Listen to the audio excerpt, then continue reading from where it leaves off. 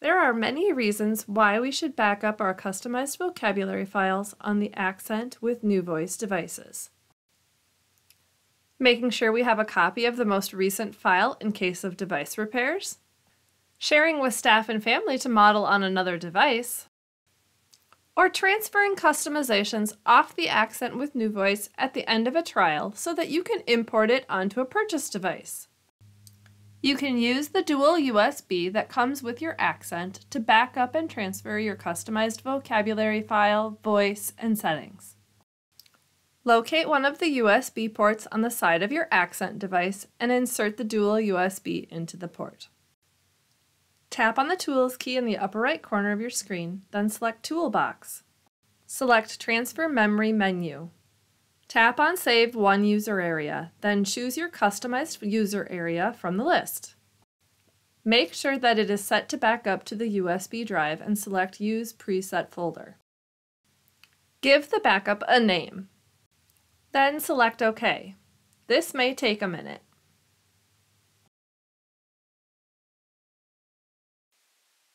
When it has finished backing up, you can tap on OK.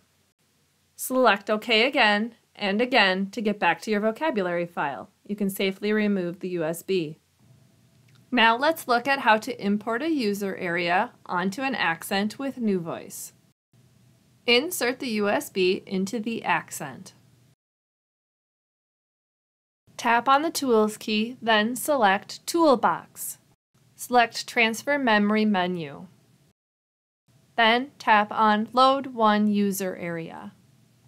Select the user area to load the backup into. Find the user area you want to import. Allow it to import. This may take a minute. When the import is complete, it will ask you if you want to switch to the new user area. Say yes. Tap on OK, then tap on OK in the lower right corner. Tap on OK again. You are now back to your vocabulary file and can safely remove the USB. For more information about your accent with NuVoice, visit our website at prentrom.com. Click on Support to find the user manual for your accent and support articles to help you with programming. Visit AAC Learning Journey to find instructor-led courses, and self-paced e-learning modules to continue learning about your accent with NuVoice and implementing AAC through your day.